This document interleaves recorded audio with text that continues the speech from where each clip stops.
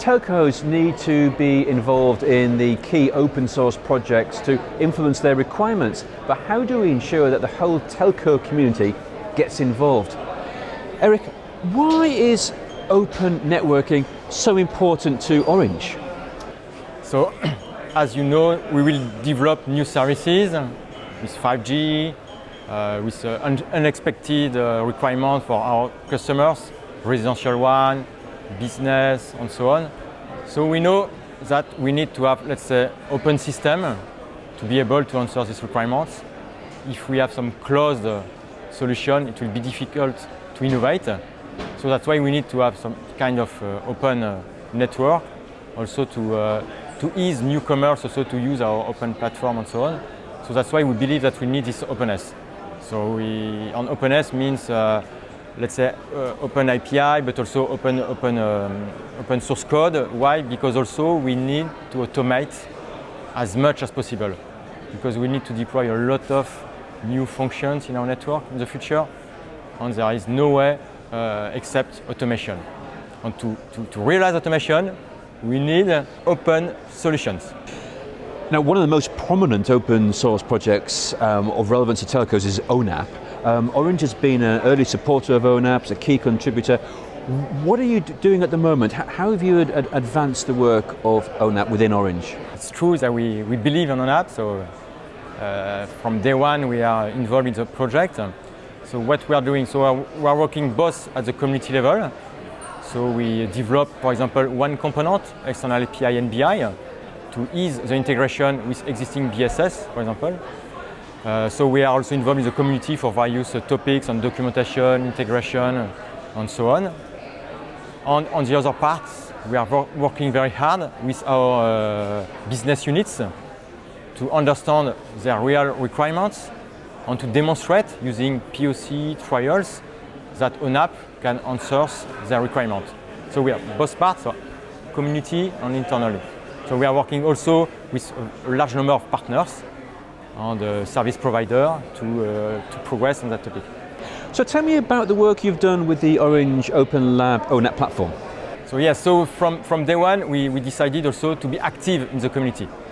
And be active is uh, not only uh, pushing requirements, uh, but it's also to providing some resources. For example, we can provide physical resources this Open Lab, and also uh, let human resources. Open Lab is a, is a, let's say, a platform, open platform, open to anyone who can use the ONAP, uh, full ONAP uh, solution, and you can play with that and share the results with others. That's also the beauty of the community. You can try it and you share your experience with others. And I can tell you we learn a lot with this Open Lab platform that we open to, uh, to, to, to, to everyone.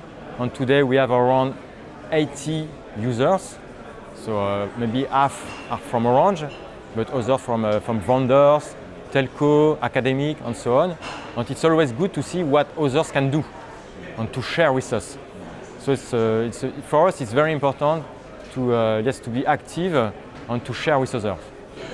Which brings me to the, the, point I raised earlier about how do we ensure the whole, the wider telco community can get involved there are certain telcos, the tier ones, who have got the resources and the time to commit. The smaller telcos, maybe, maybe not so.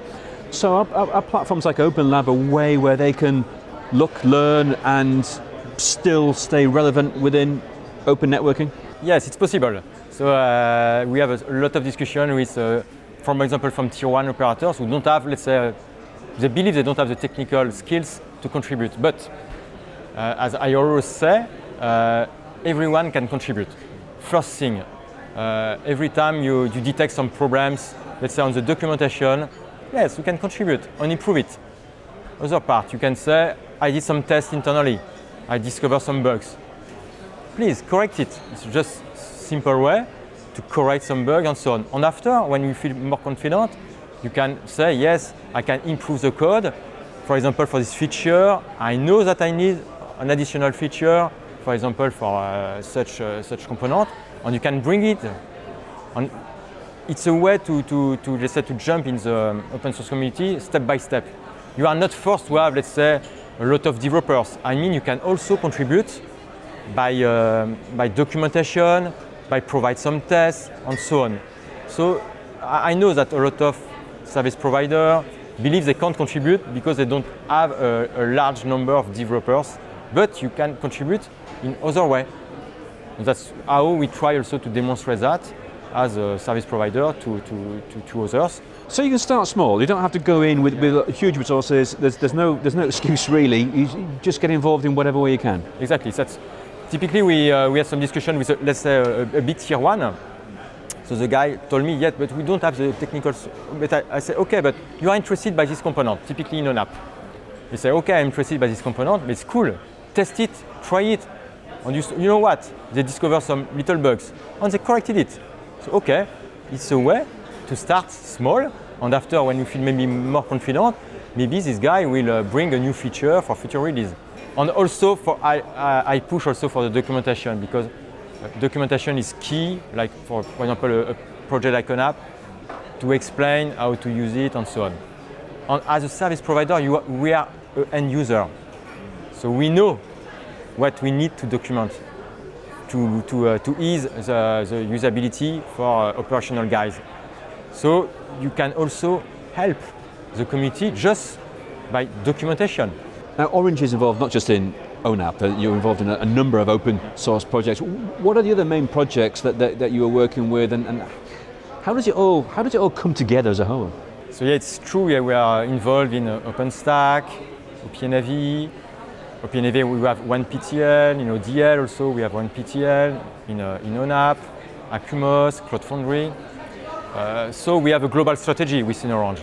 It's a global strategy defining where we want to, to go, and we have uh, internal governance to uh, to put the top level priorities. Uh, but after, it's not, let's say, a very detailed uh, definition of our strategy.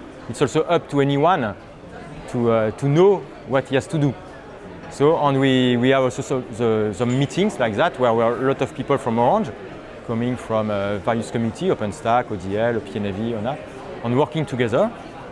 And as an illustration also, I think OpenLab is a good, once again, sorry, it's a good uh, so, uh, uh, project to show that we are using various components. Typically in OpenLab, we are deploying ONAP on top of an OpenStack solution, reusing OPNFV test frameworks to validate the installation of both uh, OpenStack and ONAP. So like that, we have a, let's say a, a full vision of all these components and try uh, and to see and to, to verify that they can work together.